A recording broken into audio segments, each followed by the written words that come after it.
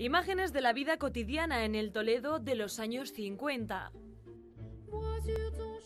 Momentos únicos como el nacimiento de estos sextillizos. Fotografías de familia y de importantes llegadas como la industrialización de la capital. No falta de nada en este recorrido fotográfico por Toledo y provincia desde los años 50 a los 80.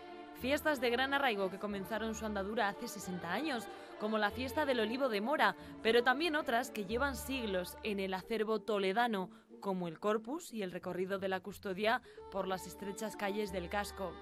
Visitar esta exposición en el Centro Cultural San Clemente de Toledo es mirar cara a cara a la historia, cuando una imagen valía más que mil palabras porque captaba momentos irrepetibles. La visita del Papa Juan Pablo II a Toledo en 1982. La llegada de Eva Montes como flamante campeón del Tour, el primero en lograrlo en España, en caravana desde Madrid hasta Toledo.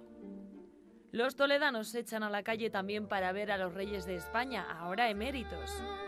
Así hasta 70 fotos que pueden ver hasta el 1 de abril, extraídas del archivo fotográfico Fotoflores, adquirido por la Diputación hace décadas y que cuenta con 180.000 imágenes, 150.000 de ellas ya digitalizadas.